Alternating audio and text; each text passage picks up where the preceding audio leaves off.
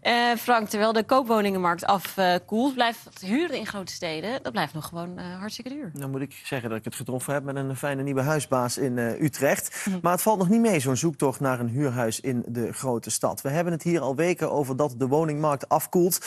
Dat de prijzen toch wat stabiliseren. Een te koopbord iets langer dan een paar uur in de voortuin staat. Dat starters weer wat kansen maken.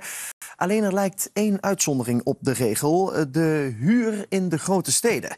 Het FD meldt vanochtend dat daar de boel nog altijd onder hoogspanning staat. Zij spraken makelaars en eh, het huurplatform Pararius. Zo betaalden nieuwe huurders in Den Haag het eerste kwartaal van dit jaar meer dan vier- eh, 6,4 procent meer ten opzichte van een jaar eerder. Ook in Amsterdam stegen de vrije sector huurprijzen bijna 6 procent ten opzichte van dezelfde periode vorig jaar. En dan eh, zien we ook nog het overbieden op die huurprijzen. Vraag je bijvoorbeeld 1500 euro per maand voor een huis van 50 vierkante meter, dan biedt iemand aan om 1650 te betalen, zo zegt een makelaar tegen dat FD.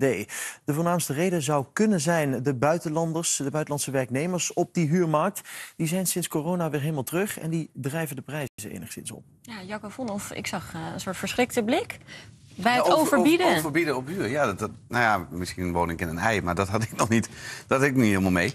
Maar inderdaad, dat het, eh, dat het, eh, dat het aanbod nog steeds krap is en dat er veel mensen willen huren, ja, leidt misschien wel tot dat soort eh, rare prikkels. Ja. Is dit inderdaad de reden dat die huurprijzen zo door blijven stijgen?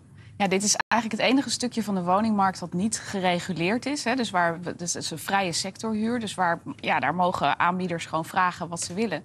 En als er dan veel vraag is, wat je nu ziet... en je ziet natuurlijk ook dat de inkomens, hè, zeker voor jonge mensen... die net aan het begin van hun carrière staan... eigenlijk best behoorlijk aan het stijgen zijn.